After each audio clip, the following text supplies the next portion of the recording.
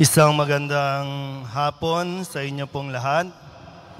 Tayo po ay dumako na sa ika-anim na wika naganap na.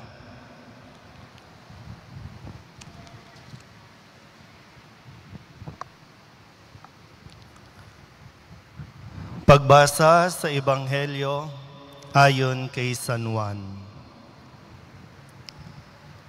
Mayroon ding isang sisidlan na puno ng suka. Ikinabit nila sa isang sanga ng isopo ang isang esponghang pinigta sa suka at inilapit sa kanyang bibig. Pagkasipsip ni Jesus ng suka ay kanyang sinabi, Naganap na. Ang mabuting balita ng Panginoon. Pinupuri ka namin, Panginoong Heso Kristo. Muli po, isang magandang araw sa inyo pong lahat. Habang papalapit po no, yung pagtatapos ng atin pong siyete palabras, ay dito po sa Quiapo, medyo painit ng painit. Walang tao, pero mainit ang panahon na sadyang nakikiisa no, dun sa ating damdamin, nakikiisa sa ating nararanasan ngayon. Alam niyo po, nung uh, ibinigay po sa akin itong ika-anim na wika, naganap na, medyo nahirapan po akong uh, bigyan ng pagninilay hanggang kagabi talagang nagtatanong ako, nag, nagdarasal ako kung ano ba ang ibig sabihin ng naganap na. Bakit ba sinabi ni Kristo ito na naganap na? Ini-imagine ko, no? Eh, subukan nyo nga pong imaginein yung uh, itsura, no? Kasi mamaya mabu- maririnig natin yung kabu- kabuang kwento. Pero sabi ko, ano bang, ano bang gustong sabihin ni Jesus doon sa bakit yung sinay naganap na? Di ba? Nakapako eh. Di ba? Ano, isipin niyo yun, nakapako eh. Yung binabalikan ko ang kwento, kahit yung yung pelikula, 'di ba, no? Kung napanood niyo yung The Passion of Christ, 'di ba, no? Grabe yung eksena doon sa sa scourging, no? Doon sa scourging, no, yung paghahampas sa kanya, tapos pinutungan ng corona. Parang sabi ko, Parang doon pa lang pwedeng namatay na si Jesus eh. Doon pa lang. No, sa mga hampas na iba-iba yung ginagamit na panghampas kasi 100 100 na hampas yung no yung ipinatang sa kanya eh nung una eh. Di ba?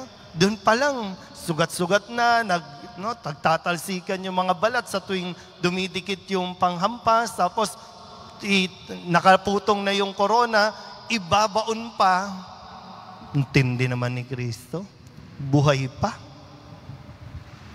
Na parang doon pa sinabi ko ano, doon pwede na siyang namatay doon eh. Doon pwede nang natapos, doon pa lang eh. Eh hindi eh. Nakaya pa. Kinaya pa. Kasi matapos yung pagpuputong ng corona, pinasan pa yung krus Di ba? Sabi ni Father Dale, no, sa ikaan, uh, ikalima, dinescribe pa, ilang kilometro, buhat-buhat yung krus, tapos paakyat pa. Habang umaakyat pa, ang dami pang nanunuya, ang dami pang no, nandudura sa kanya. Pero, kaya mo yun? Eh, ano ba kung tayo po, no? Kaya mo? Ito nga lang COVID eh. Sinusukuan na natin eh. Eh, ito nga lang problemang ito, ayaw mo na eh. Ano pa, ano pa bang meron sa iyo ngayon? Hmm? Wala nga lang ayuda, ayaw mo na eh. Pero hindi pa kasi tapos. No, ano? Okay, nakapako sa krus, duguan. Tapos, di ba? Pag tinignan mo yung image, no, yung image sa sa screen, di ba, no? Si Kristo. Pero imagine mo yung itsura, no? Duguan na yan, puro, puro sugat yan. Tapos, nakipag-usap lang. No? Yung, yung bang tumingala, may kausap, siyempre hindi natin nakikita eh.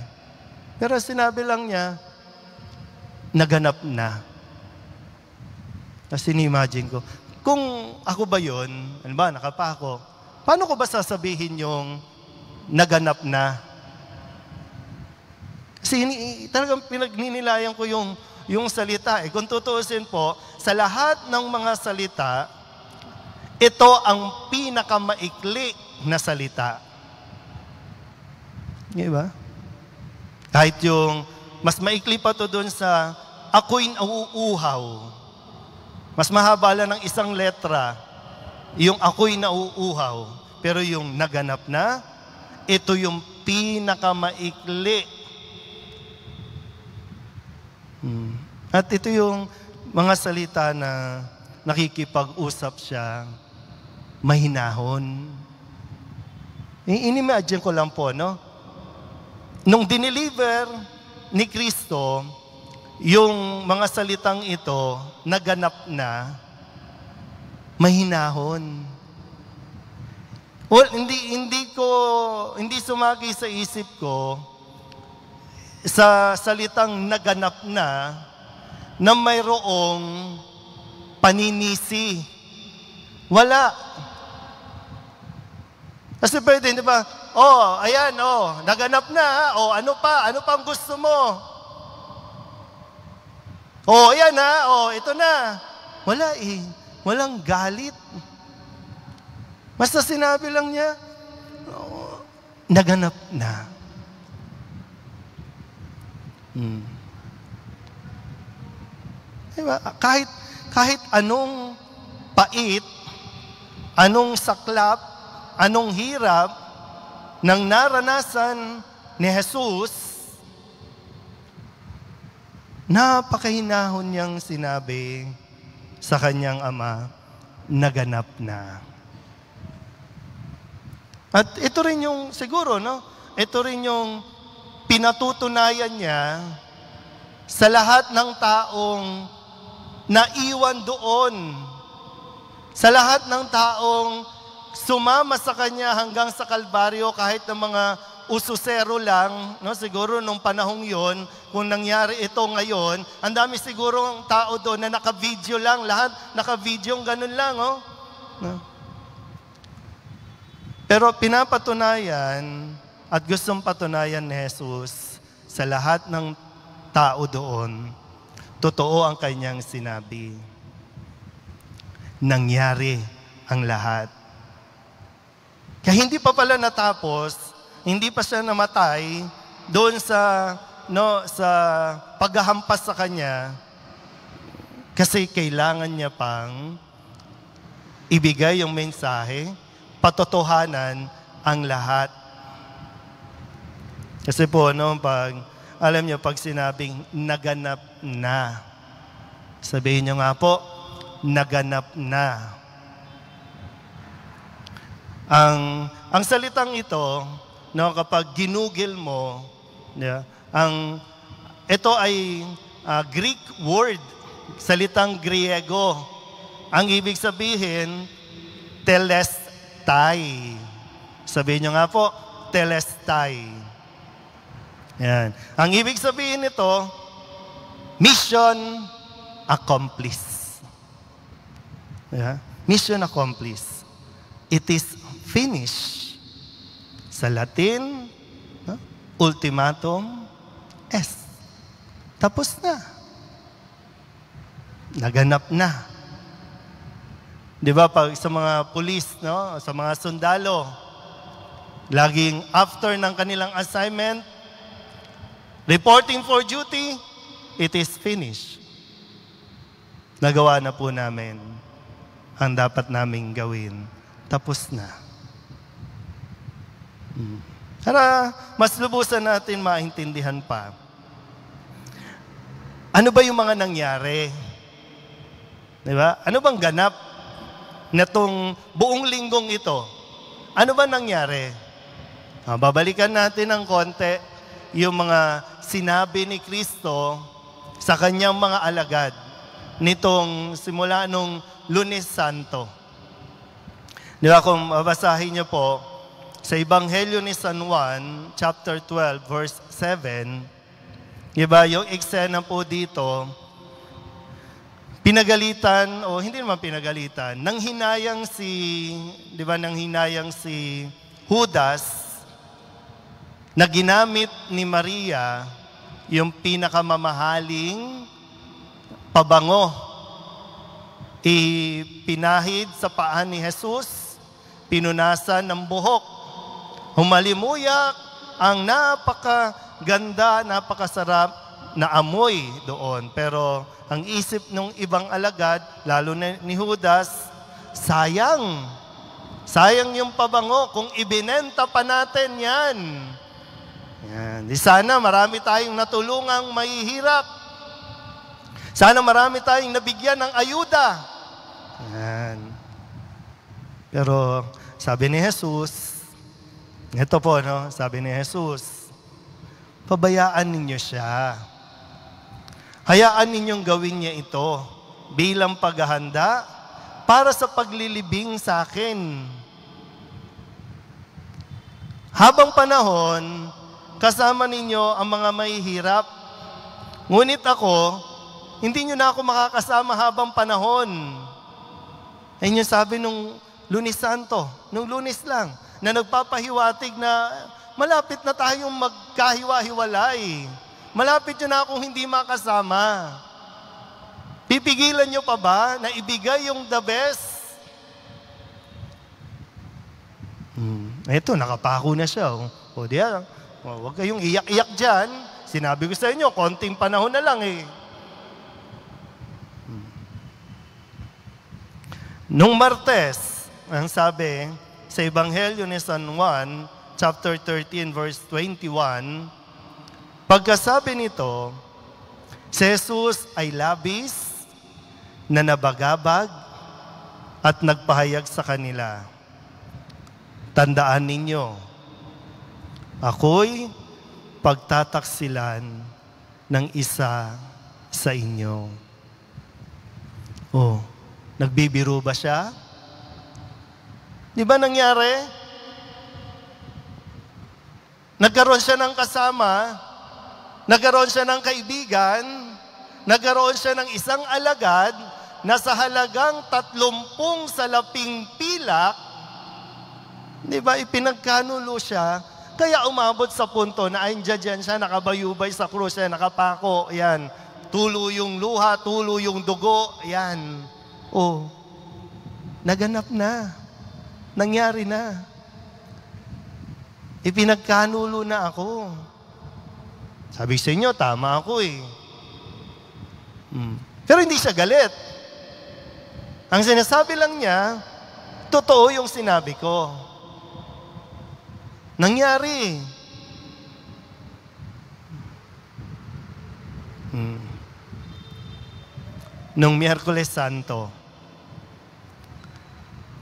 ganun pa rin, ha? Sabi dito,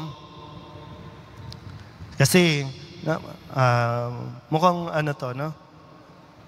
Mayroon din itong version ni Mateo. Pero ito yung kwento na habang yung version ni Mateo, Nagsasabi siya na, yun nga, isa sa inyo, pagkakanulo ako. Tapos naririto si Pedro. Nagbida-bida si Pedro. Lord, bakit hindi ako makakasama sa iyo? Eh, kahit buhay ko, ibibigay ko para sa iyo. Sabi ni Kristo, hmm, bibigay mo, iaalay mo buhay mo sa akin, tandaan mo ito, Bago tumilaok ang manok, tatlong beses mo akong ikakaila. At nangyari din. Nangyari din yun. Oh. Di ba, ang sakit nun? Kaibigan mo, di ba? Pinakain mo. Tinulungan mo. Tapos nung panahon, mga oras, na ikaw yung nangangailangan, wala sila. Hmm. Pero sabi ko nga, nang sabihin ni Jesus, naganap na, hindi ito salita ng panunumbat. Hindi siya nanunumbat. Naintindihan naman niya yung damdamin eh, ng mga alagad eh. Yung naganap na, sinasabi lang niya, totoo ang sinabi ko, paniwalaan niyo na. Tama nga, di ba? Hmm. Ano pa ba yung mga naganap na, na mga, mga natupad na? Di ba? Kung babasahin niyo po, ang ibang ang uh, aklat ni Propeta Isaías, oh, medyo balik tayo, no?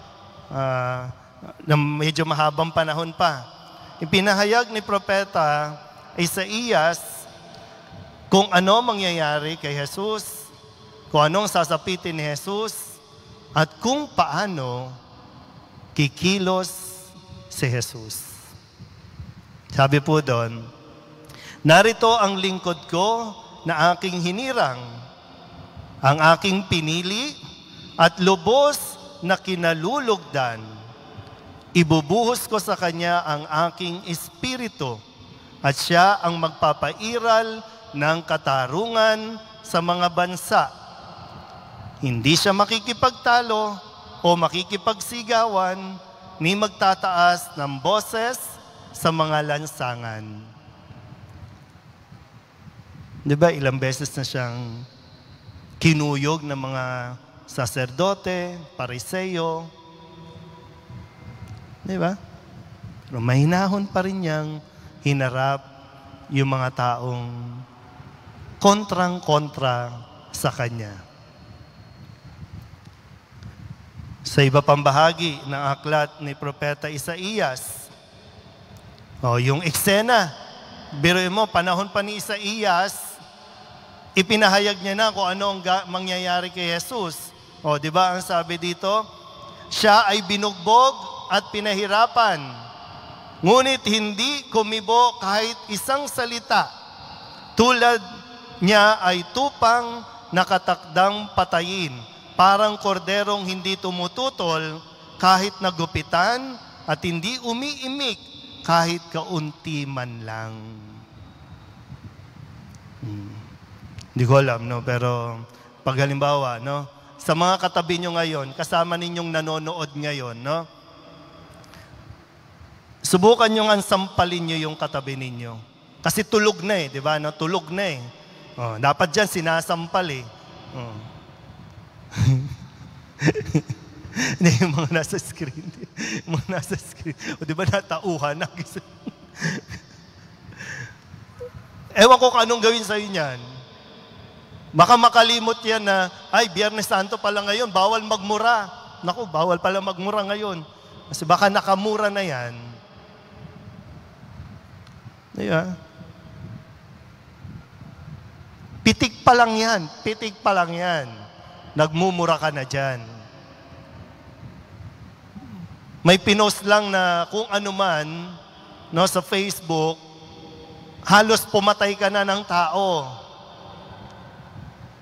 Pero ito, oh, binugbog na, pinahirapan pa, o ano-anong mga salita pang narinig, pero tahimik lang.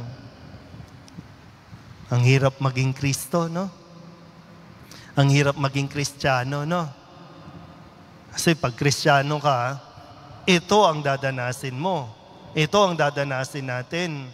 Mali yung pananaw na pag Kristiyano, masayang tunay. Mali yung pananaw na kapag Kristiyano ka, sumusunod ka kay Kristo, ayahay ang buhay. Hindi ganon. Walang ganon, Mars. Baka, kaya nga sinusundan natin, di ba, Nasarenong may pasa ng krus. Ang sinusundan natin, itong nagpasa ng krus, ay pinako sa krus.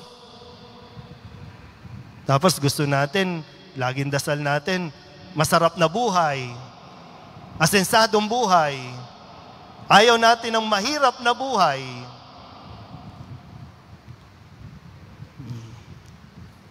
Pero, naintindihan tayo ng Diyos dyan, ha? Kung sakasakaling dumarating tayo sa puntong yan na ayaw natin at tinatanggihan natin ng mga paghihirap, eh naintindihan naman tayo ng Diyos yan. Hmm. Yung panghuli, na pwede nyo pong, sana basa-basahin nyo po, no? Sa, dahil wala naman tayong, normally pag Biyernes Santo, walang ibang palabas, di ba, no? Wala tayong napapanood, tahimik lang, kasi pagagalitan ka ng lola at lola mo, pag nagpatugtog ka, bawal. No, patay ang Diyos, di ba? Naghihirap ang Diyos. Bawal magingay, bawal maglaro. So sana po, medyo basa-basahin nyo naman no, yung mga ibanghelyo, mga kwento natin. Kasi itong ibanghelyo ni San Lucas, verse 24 to 44, ito na yun, yun sa dulong bahagi na ito eh. Nangyari na. No, sabi, pagkatapos ay sinabi niya sa kanila, ito ang tinutukoy ko nang sabihin ko sa inyo noong kasakasama pa ninyo ako. Dapat matupad ang lahat ng nasusulat tungkol sa akin sa kautusan ni Moises at sa aklat ng mga propeta at ng mga awit. Lahat dapat mangyari. Kaya ngayon, reporting for duty, Ama, tapos na. Naganap na. Kahit gaano kahirap, yung pinagdaanan ni Jesus, andi dito siya ngayon, hindi siya nagdarasal, di ba? Kung babalikan natin yung ilan mga wika, di ba, no? Ama, oh, di ba? Nakapagpatawad na ako, Ama. Di ba, unang wika, patawarin mo sila, Nakapagpatawad na ako, Ama. Kasi turo ko nga, di ba? Ibigin ng kaaway, ipanalangin ng mga umuusig. O Ama, patawarin mo sila. Hmm. O, ikalawa, hindi ko kayo iiwan. Di ba? Sabi niya, ngayon din, isasama kita. Di ba? Gusto niyo sumama. Ay, kayo naman, para kayong ewan eh. Okay, ngayon, pag sinabi ni Kristo, ngayon din, isasama kita sa paraiso. Oh, sino ang gustong sumama? Tumuwala din. ayaw din. Pero ayaw nyo nang maghirap, di ba, no? Ayaw nyo nang maghirap. Eh, di ba, yung sabi, nakapako, di ba, no? Uh, Panginoon, oh, pag nagahari ka na, isama mo ako sa paraiso. Okay. Sama ka.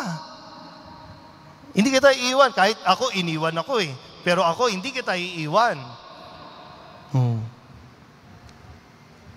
Oh, ama, naganap na. Naibilin ko na. Naibilin ko na yung nanay ko sa alagad. Yung kaibigan ko, naibilin ko na. Okay na ako. Tapos na. Tapos na ako.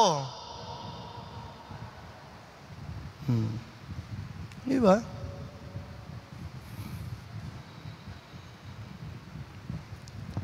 Eh, ngayon po, pag sinabi natin itong naganap na, paano mo ba sasabihin yung naganap na? Kaya mo bang sabihin, naganap na? Kasi si Kristo, tapos niya na, natapos niya. Kaya kanina, yung sinabi ko sa inyo, no, ewan ko, nung, nung sabihin natin na ngayon din, isasama kita sa paraiso. Sabihin nyo nga sa katabi ninyo, mamamatay ka na. ilan yung, ilan yung, eh, naku, nak, nakunod, naku, wag naman sana, naku, wag naman sana, hanap, walang, walang kahoy, wag naman sana. Hmm. Ilan sa atin yung takot? Kasi pag, pag pinag-usapan talaga natin ito, ito kasi yung mga, di ba, no, naganap na. Ito yung mga pangungusap na okay na siya. Di ba? Okay na ako. Yung maabot tayo sa puntong yon, Eh, kayo ba na naranasan nyo na ba yun na nasabi ninyo, kahit gaano kahirap yung pinagdaanan mo, nasabi mo na, okay na ako. Handa na ako, okay na ako eh. Kasi anong, anong mapapala mo kung gaganti ka? Anong mapapala mo kung, di ba, hahangarin mo na maghirap din yung iba? Ah, hindi. Sama-sama tayo dito. Maghihirap tayo dito lahat. Hindi pwedeng kayo lang.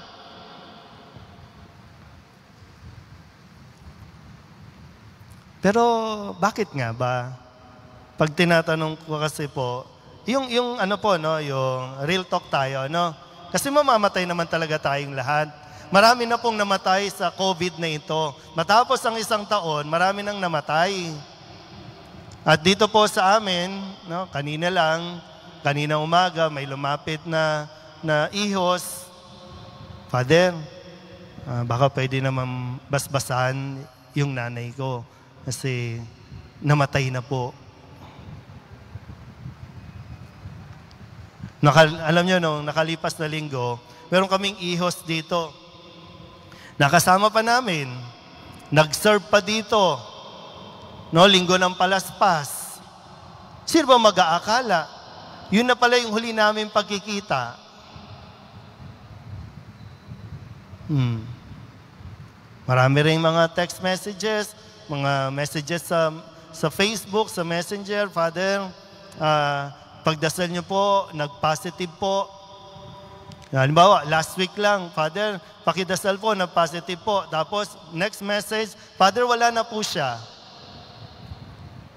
Hmm. Ka-text mo pa lang, ka-messenger mo pa lang, positive po ako sa COVID. Yung nanay ko, yung tatay ko, tapos biglang, Father, wala na po siya. O hindi biro ang mga-COVID. At pwedeng ang COVID ang magsabi sa iyo na tapos ka na. Hmm. Di ba? Real talk tayo mga brad. Pero yung iba matibay, di ba, no? Matibay. Sa kayo lang gagani. Yung iba kasi, yung iba, kakadapo lang ng COVID, tsugi na. Yung iba naman, sabi, bakit sila nasa labas lagi? Bakit yung mga bakit yung mga ihos panayang inom ng alak, hindi na tsuchugi? bakit yung mga mabisyo hindi na hindi na mamatay? Kahit anong tindi ng virus na ito, kahit anong variant na ng virus, matindi. Minsan nasasabi nga natin, di ba? No? Bakit yung mga taong grasa, yung mga uh, pulubi, bakit at matibay? Pero yung kakilala mo, okay naman siya eh. Mayaman pa nga eh, di ba? May kapasidad magpa-hospital eh. Pero hindi kinaya. Hindi na kaya yung virus. Totoong may nakakamatay. COVID man o hindi, mamamatay tayo. O, tingnan nyo na yung mga katabi ninyo, no? Baka ito na yung huli ninyong pagkikita. Magbabay ka na dyan, no? Bye-bye. At least dapat masaya ka, nagbababay, di ba? Hindi mo alam eh. Yung iba sa inyo, natutulog lang dyan habang nanonood, hindi na pala nagising. Kasi tapos na. o kaya ingat-ingat, huwag kayong matutulog habang may isa pang salita. Ano? May isa pang salita. Hmm. May isang oras pa. may isang oras pa. Hindi pa pwedeng mamatay si Kristo. May isang oras pa. Pero di ba, reality din, may oras ka pa. Baka may oras pa tayo. Yung iba, tapos na yung oras. Pero maganda rin pag nilaya natin, itong sinabi na naganap na. Bakit nga ba tayo natatakot? Bakit nahihirapan tayong sabihin yung mga salitang tapos na. Parang bihira akong bihira akong maka makasalamuha ng mga taong magsasabing uh, Father, ako anytime pag kinuha ako ni Lord, handa na ako. Tanungin niyo nga po yung mga katabi ninyo, handa ka na ba? Hindi pa. Marami sa atin magsasabi na hindi pa. Kasi ang sasay, ang idadahilan, may mission pa kasi ako eh. Diba? Ang dadahilan mo, may mission pa kasi ako eh. Ang mga magulang, ang idadahilan nila, kahit matanda na ha, kahit uugod-ugod na, no, gaganon na, di ba, no? Gusto pa rin mabuhay na matagal. Kasi ang sasabihin, may mission pa po kasi ako eh. Maliliit pa po yung mga anak ko. Ayaw ko po silang iwan. Pero realidad, hindi natin hawak ang oras Hindi natin hawak ang buhay natin. Kaya nga sa bawat araw, sa bawat paggising, kailangan nga natin na, na i-evaluate din. Nagawa ko na ba yung dapat kong gawin? Yan. Kasi request ka ng request sa Diyos. Di ba? Lord, sana humaba pa ang buhay ko. No? Di ba sa tuwing may birthday, Lord, sana humaba pa ang buhay ko. Minsan, may mga nilolo, ah, binibiro ko lang naman, no? Minsan may mga matatanda dito, mga naglilingkod, mga ihos. Oh, buhay ka pa? Kasi yung mga bata, namatay na yung mga bata, buhay ka pa? Ibig sabihin, baka binibigyan pa tayo ng pagkakataon. Hindi ka pa talaga tapos. Pero hindi ibig sabihin, magpapabanjing-banjing ka lang dyan. Paisi-isi ka lang dyan. No, kundi binibigyan tayo ng pagkakataon gawin yung dapat gawin. Kaya, ginawa mo na ba ng tama at mabuti yung sinasabi mong dahilan. Sinasabi mo, eh, eh, hindi ko pa, alam nyo, maraming umiiyak ngayon dahil sa COVID. Marami ang umiiyak na namatayan dahil sa, sa panahong ito ng pandemya kasi punong-puno ng mga pagsisisi ng mga bagay na hindi nila nagawa doon sa namatay. Eh ilang beses ka nang pinaalalahanan, anumang oras pwedeng mawala yan. Ikaw din, anumang oras, dapuan ka ng COVID, baka yan na lang, yung inihintay ng isang bulate para pumirma. Pero wala eh. Nagawa mo na bang magmahal? Nagawa mo na bang magpatawad? Nagawa mo na bang maglingkod? Nagawa mo na bang magpatawad o kaya nagawa mo na bang magpaubaya? Hmm. Mamimiss ko kayo. Di natin alam, ako o ikaw.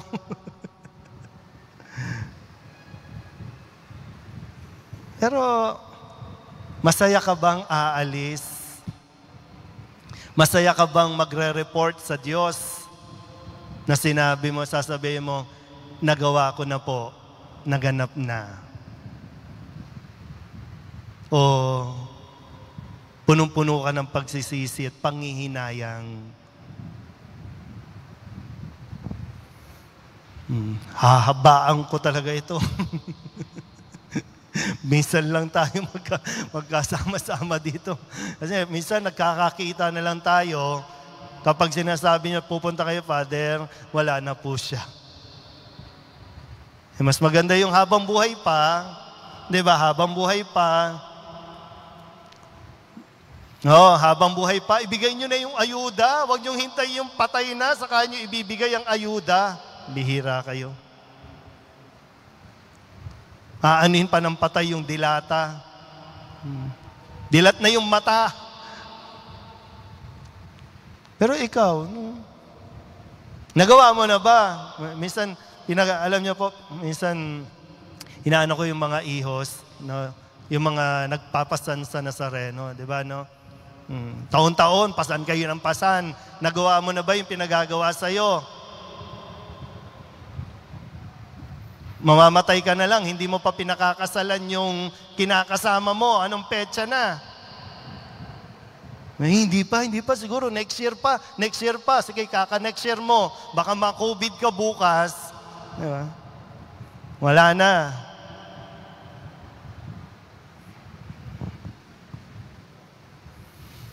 Hmm. Pero, di ba? Lang, naglingkod ba tayo? Kasi hindi lang naman po basta, may, mahirap po kasi, di ba, sa sa atin po, no, kapag may, sa mga nagtatrabaho, di ba, yung, iba kasi yung ginawa mo ng tama at mabuti, kesa yung ang expression mo na, eh, tapos na. Di ba tapos na?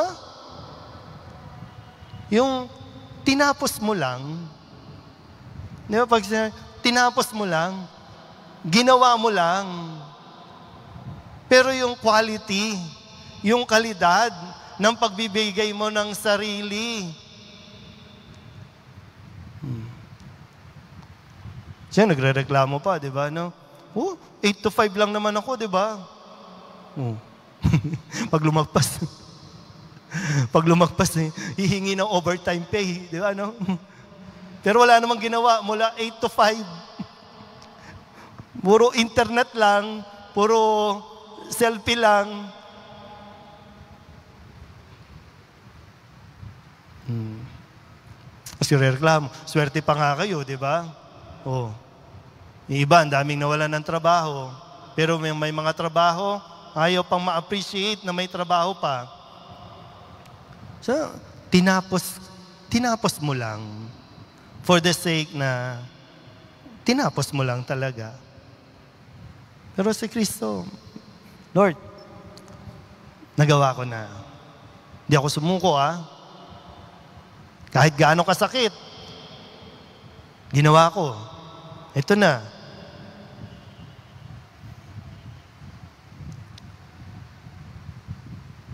Bakit nga maraming natatakot sa atin ngayon?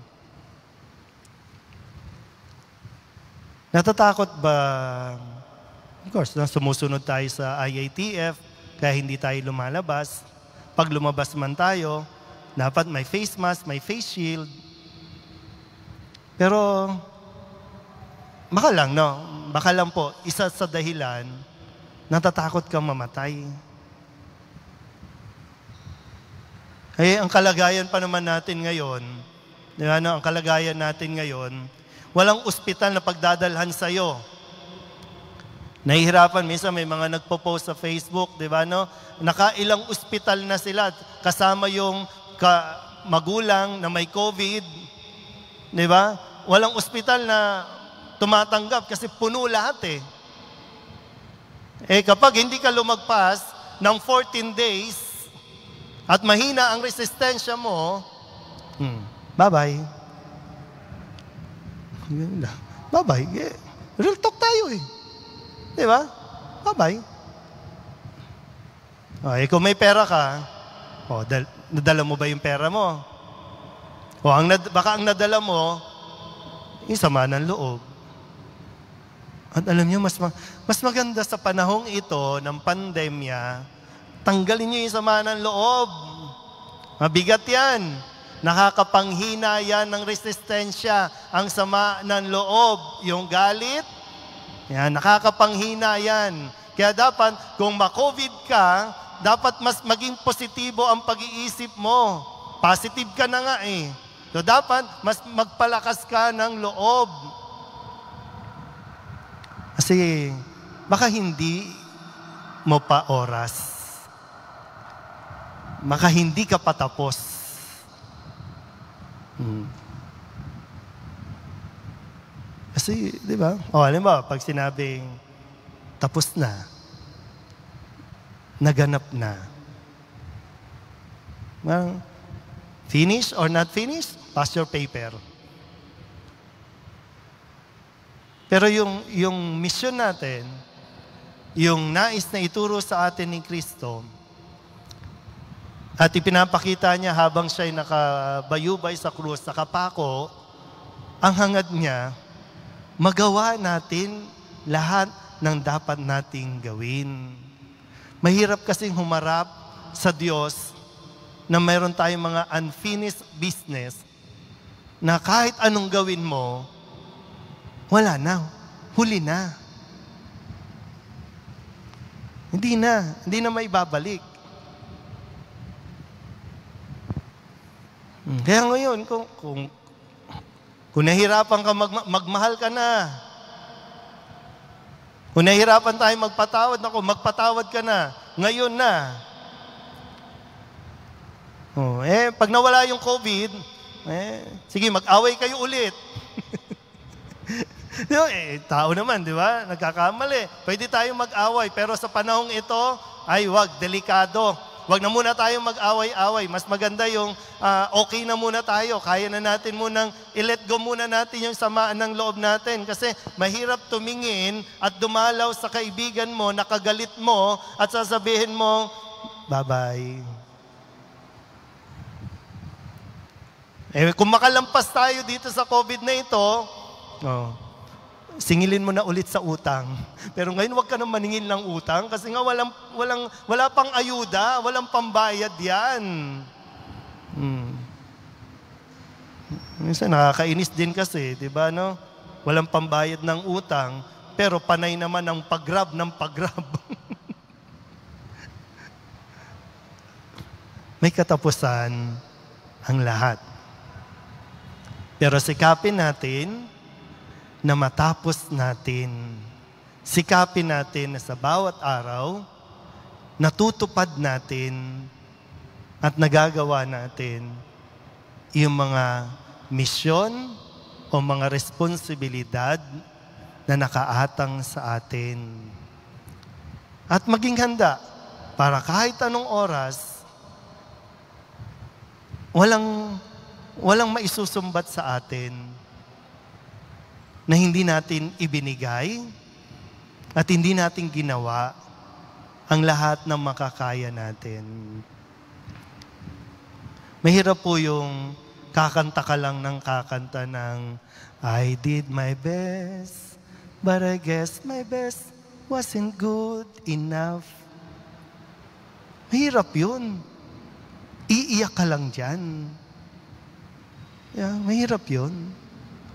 Mahirap lagi yung nasa huli ang pagsisisi. Ngayon pa lang, medyo bumawi-bawi na. Pagsisihan na natin. Ayus-ayusin na. Itama na ang mga dapat itama. Para na sa ganon,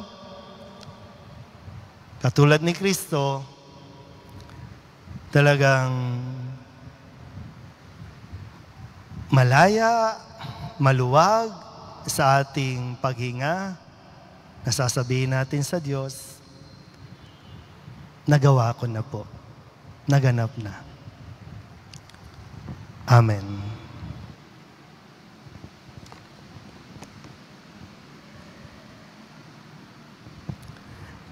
Panalangin.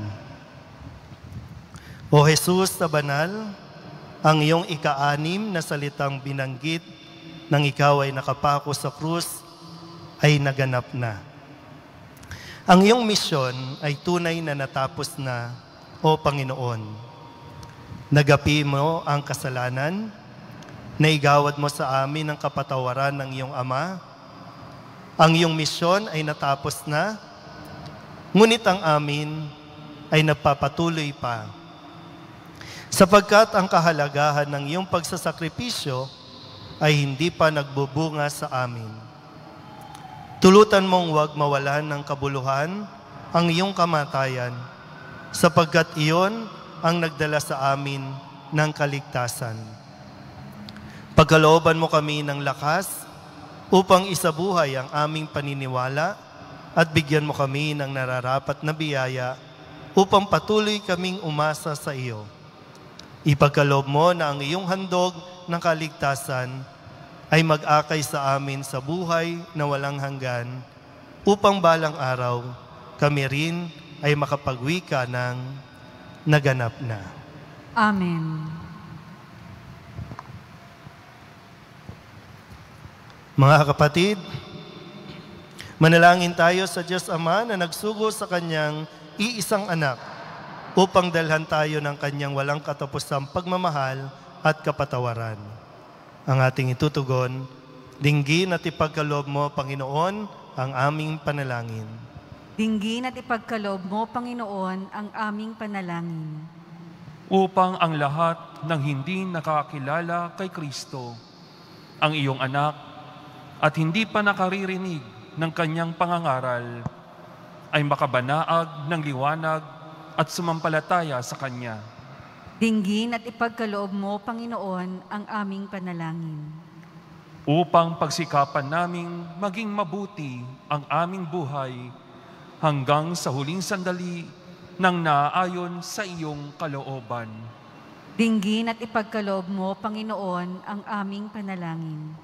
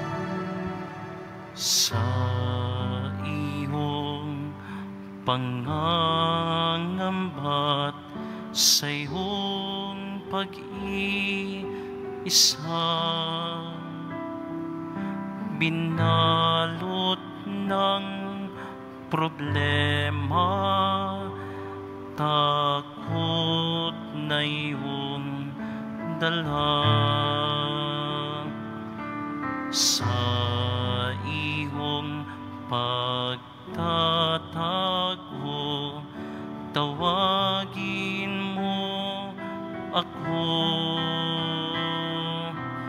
Di mo man natatanto naririto ako.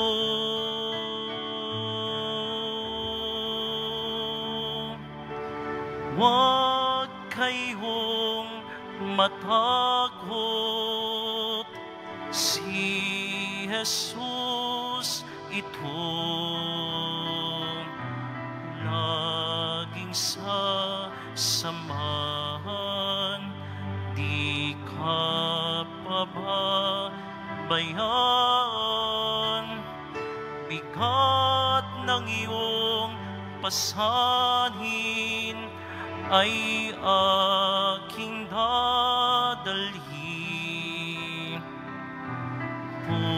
Puso mo'y iyong ituon sa dakilang pag-ibig ko sa'yo.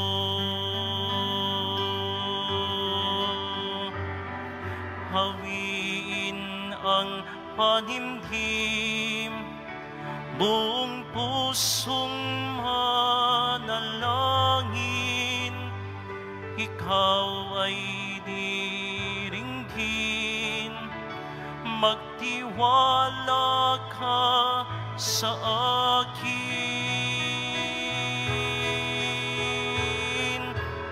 Huwag kayong matakot, si Jesus ito naging sa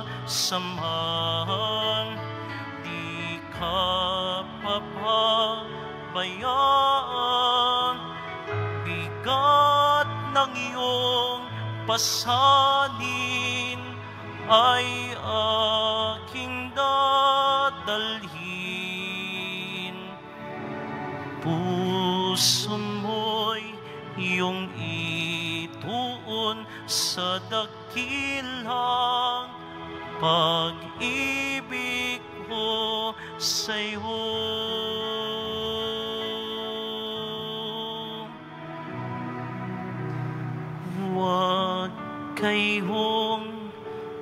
Matakot si Jesus.